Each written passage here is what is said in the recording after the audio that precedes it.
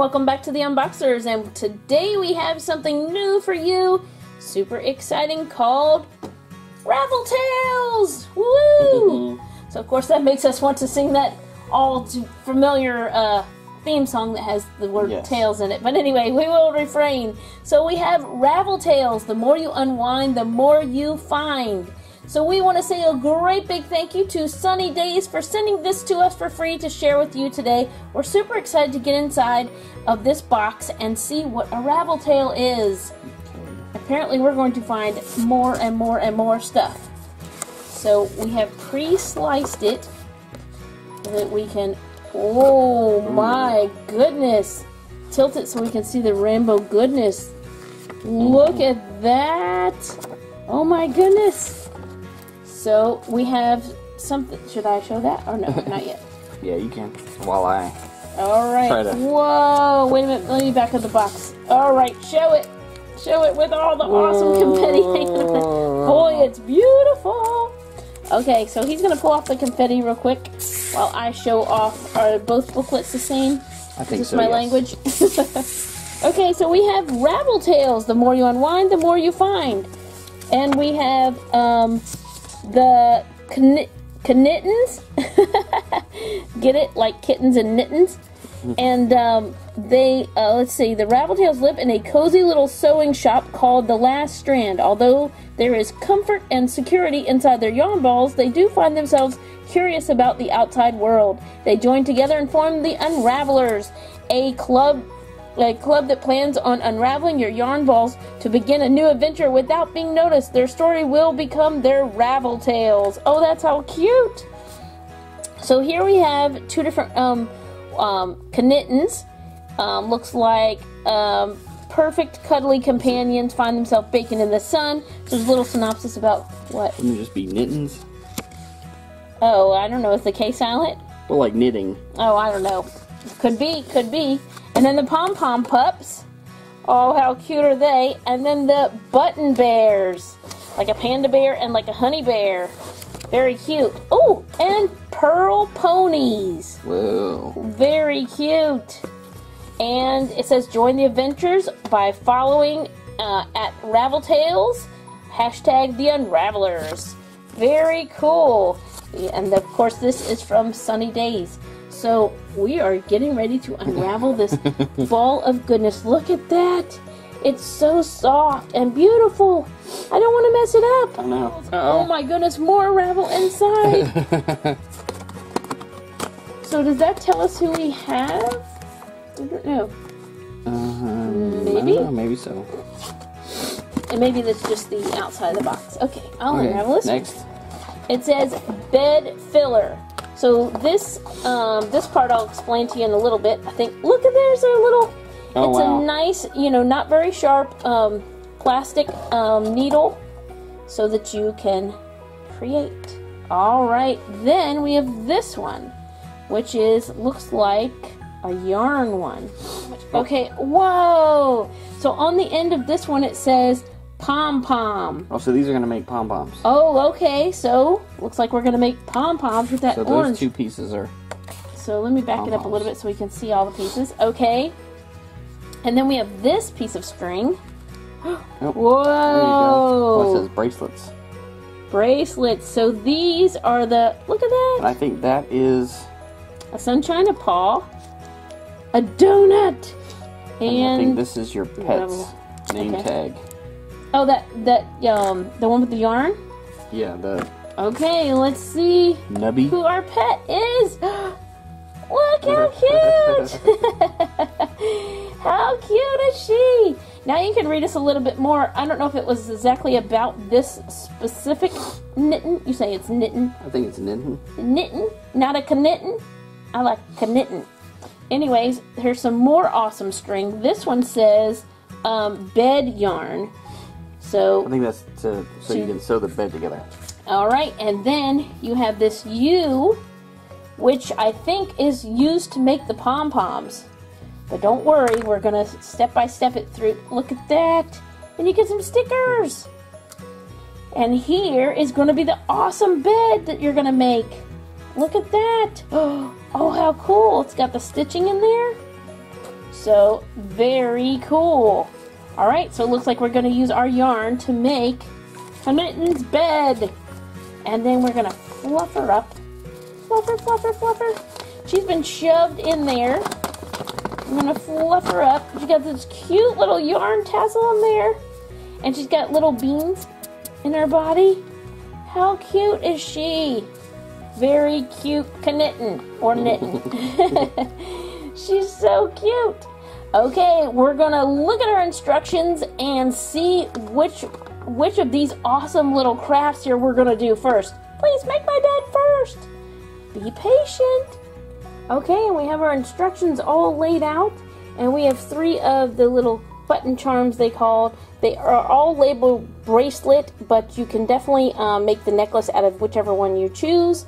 So we have a donut, a sunshine, and a paw print, and I'm going to go ahead and use the donut to make my bracelet.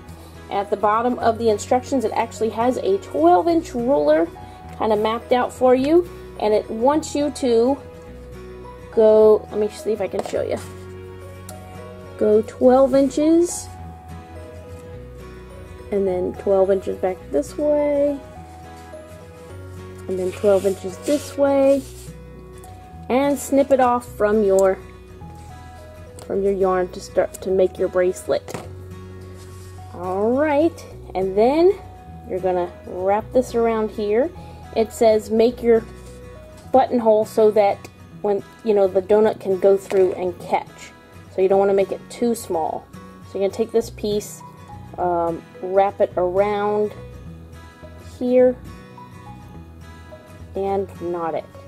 Okay, once you have your knot, you're gonna have you're gonna go ahead and snip this so that you have three separate strings and it gives you the instructions to braid it. So that's what we're gonna do. We're gonna attach our little charm at the bottom. Okay, so I braided it.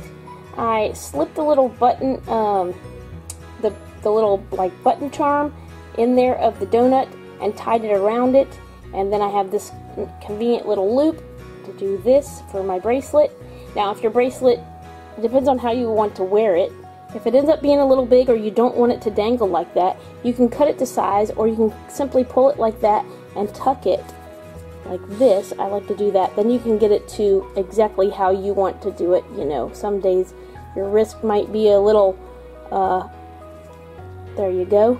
Ta-da! Your wrist might be a little bigger from other days, you know, swollen in the heat and stuff. But isn't that cute, the little donut? You do the same thing with the um, pet collar and the necklace. The necklace wants you to cut it, though, to three strands of 18. So you'll go uh, once and a half and then mark it on your string, and then once and a half, once and a half, um, three times, and then you'll do the same, make the same loop, and um, you'll slide the button hook through there all the way through and then the knot will be what catches in your loop. So you're going to want to make a smaller loop and a little bit bigger knot. So anyways and now it's time to make the pom-pom.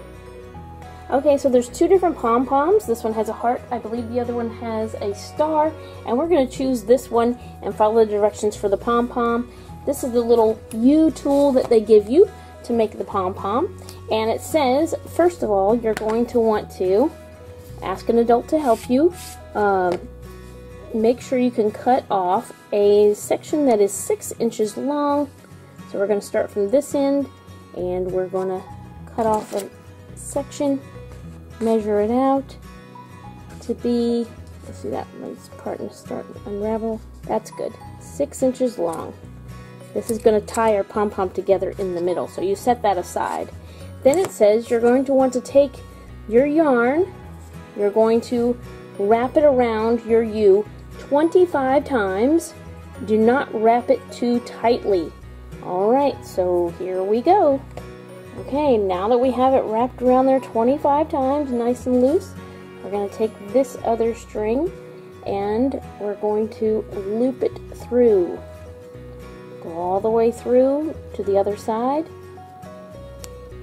underneath, and come around like this and tie it at the top. Okay, so once you've tied it, you're going to take your scissors and slip it in here like this and slowly trim and be very careful. Get someone to help you. And you're going to trim this yarn all the way off. Cut it right in two. Okay, now that you've cut both sides, you slip it out. And you have your pom-pom. Now you can slowly uh, make sure you snip all the different strings. And you can actually um, trim it up to make it, um, you know, more uniform, or there may be some strings that you didn't cut like this. You do need to make sure you have um, some pretty sharp scissors, so if you're a young child, you will need help with that. But then we have our pom-pom.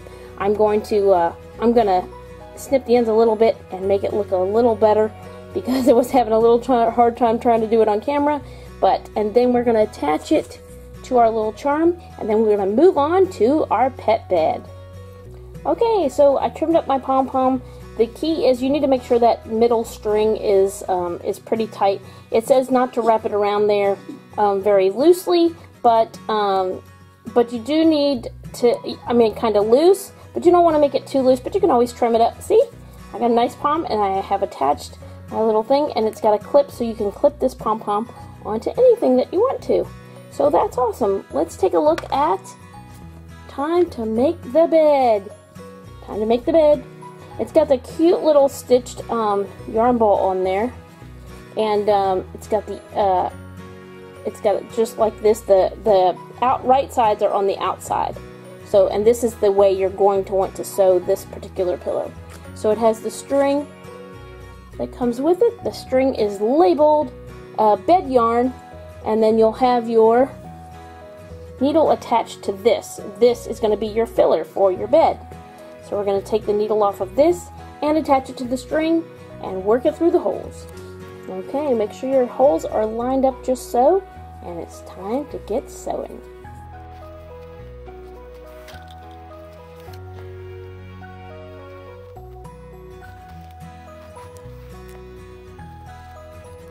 Okay, so once you've gone all the way around, almost all the way around, leave um, probably at least three holes. And then we're going to take our this yarn, which was initially on the whole outside of all this really fluffy, pretty rainbowy, um, well, it's part of the rainbow anyway, yarn, and we're going to stuff it through this hole, and then we're going to um, tie that off with a bow. Okay, and here's our pet bed. Uh, you just tie it off with the bow. I kind of double did it um, to make it secure and it's nice and fluffy and you got two different sides you can choose from Monday, Wednesday, Friday side, Tuesday, Thursday, Sunday side, and whatever day I mentioned, you can choose. Um, so that is super cute. And here is awesome Nubby. So he must be a knitten because his name is Kanubby, but I think it's supposed to be Nubby because uh, it's on his little pet tag. I went ahead and made that, and you can see it sli slides through there. You're going to use a knot to go through the loop, like I said, and I just kind of double did it around him. It's so cute around her. It's so, so, so cute with the little yarn and her on her bed. And then, um, and then I still have two, one more bracelet and a whole nother necklace I can make. So it comes with so much fun inside that you can unravel a ton of fun loving the pom-pom. We can even put the pom-pom pillow close to her bed. There's my awesome bracelet. We want to say another great big thank you to Sunny Days for sending us these Ravel Tales. It sure has been fun to unravel them and see all the fun that's inside and try it all out. Thank you so much for watching. Come back and see us. Tell a friend, subscribe, like, and we will see you next time.